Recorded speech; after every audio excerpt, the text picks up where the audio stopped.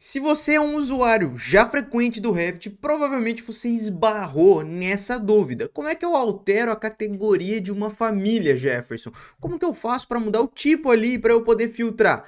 Calma, que nesse vídeo eu vou te mostrar certinho, passo a passo, para você solucionar isso e não cair mais nessa armadilha.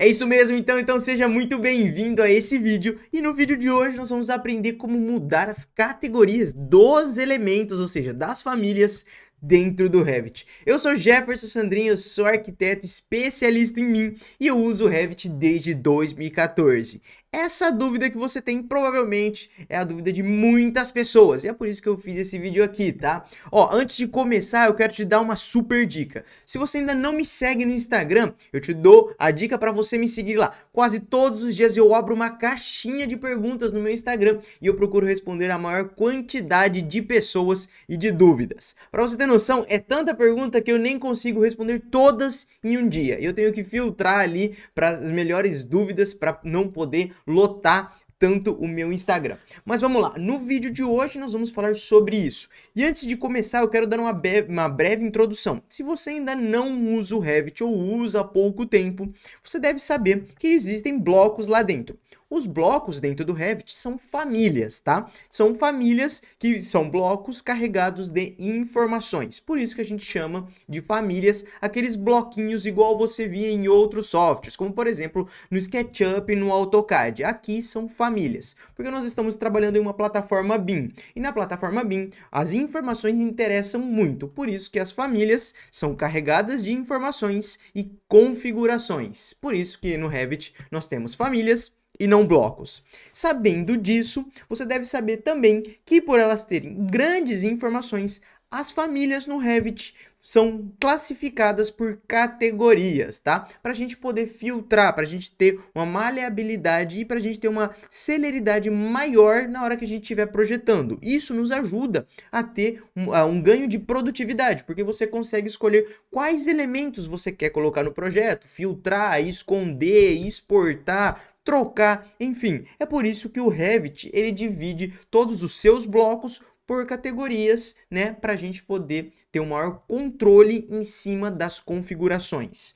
E aí o que acontece? No Revit você pode ter vários blocos em diferentes categorias, porque, por exemplo, pode ser que você queira filtrar os elementos ou que você queira juntar algumas famílias. Então é muito comum você precisar trocar a categoria desses elementos. E é isso que eu vou te ensinar no vídeo de hoje.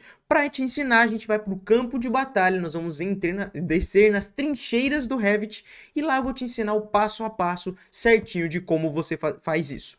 Então eu estou com um template com o meu projeto aberto aqui no Revit e eu estou te mostrando aqui que eu tenho algumas famílias, tá? Então as famílias estão colocadas aqui no meu template. E vamos supor que você está fazendo um projeto e aí você tem essa é, essa cuba aqui, né? Então, e aí você diz, cara, eu tenho esse lavatório, mas eu queria que ele entrasse, por exemplo, na minha, no meu quantitativo de mobiliários. Por algum motivo você decidiu que ele deveria entrar lá.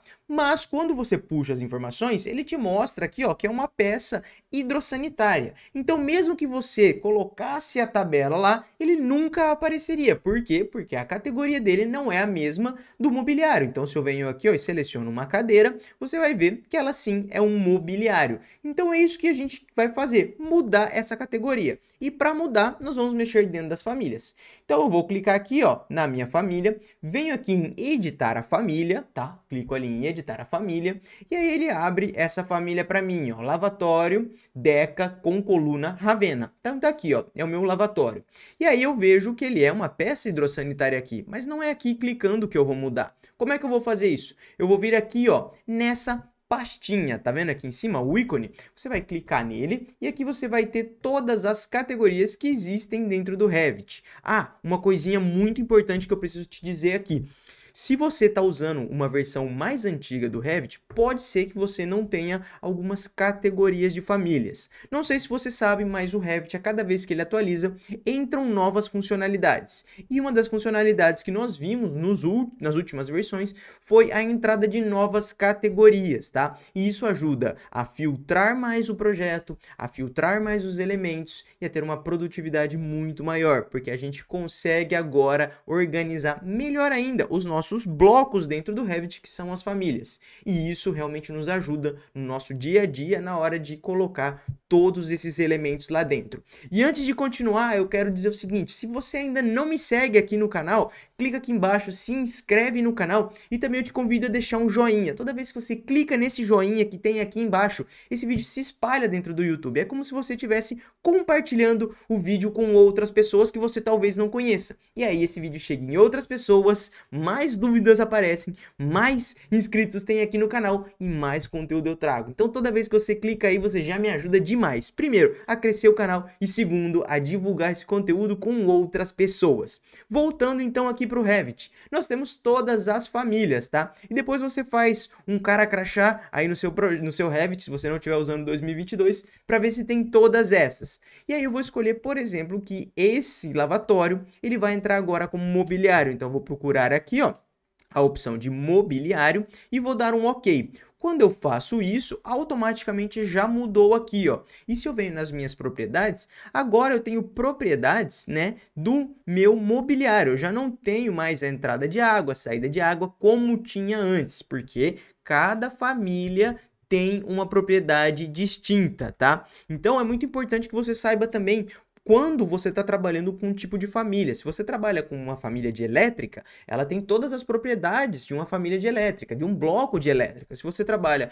com uma peça hidrossanitária, você vai ter todas as propriedades. Se você trabalha com uma luminária, você vai ter todas as propriedades de luminária. Então você tem que estar tá atento a isso. Não é só mudar categorias. Toda vez que você muda as configurações, alguma coisa altera dentro do Revit. Então faça isso consciente, não saia apertando em todos os botões, porque pode ser que você faça uma lambança ali dentro e depois você não consiga corrigir. Sempre tome cuidado na hora que você for alterar um bloquinho lá dentro do Revit e lembre também sempre de fazer o backup. Se você fizer o backup, tá tudo certo, errar, porque você ainda mantém a sua família intacta, salvada, é, salva lá no seu computador e aí você pode fazer o que você quiser com essa outra.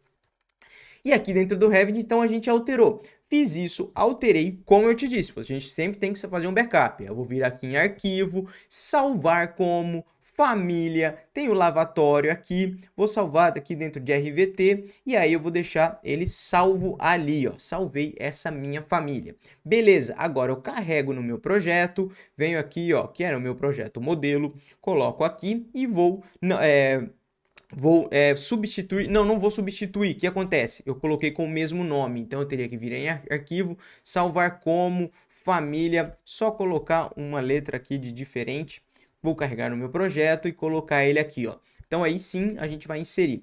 Vou inserir ele aqui, tá? Na minha aqui, ó. Opa, tá meio doidão, mas aí já inseri ele e aí eu quero te mostrar o seguinte, ó. Vou tentar ver se eu consigo trazer ele próximo. Ó, então aqui eu tenho uma família de mobiliário e aqui na outra eu tenho uma família de peças hidrossanitárias. Se eu clicar em editar o tipo, olha a quantidade de informações que eu vou ter.